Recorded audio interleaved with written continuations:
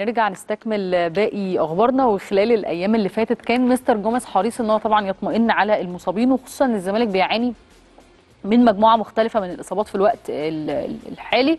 وفي الوقت طبعا الفريق كمان اللي بيستعد فيه لجدول المباريات زي ما قلنا مضغوط جدا على مستوى بطولة الدوري. وخلال الساعات اللي فاتت جوميز كان بيتواصل مع الدكتور محمد أسامة عشان يطمن على المصابين قبل ما الزمالك يواجه سيراميكا. إحنا عندنا 8 إصابات متنوعة. ثلاثة رباط صليبي الونش آه عبد الشافي أحمد حمدي. في إصابة كمان شيكابالا على مستوى العضلة الأمامية. سيف الدين الجزيري أصيب مع منتخب تونس في العضلة الخلفية. فتوح أصيب مع المنتخب المصري لتمزق في أربطة الكاحل.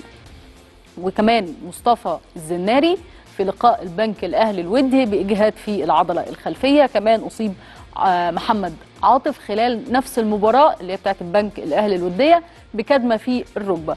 جوميز كان حريص جدا إن هو يقف على حالة كل لاعب آه كمان في المرحلة اللي هو وصل ليها كل لاعب في البرنامج التأهيلي. يعني أنا بكلمكم على عدد كبير جدا جدا جدا من الإصابات أنت داخل بيهم.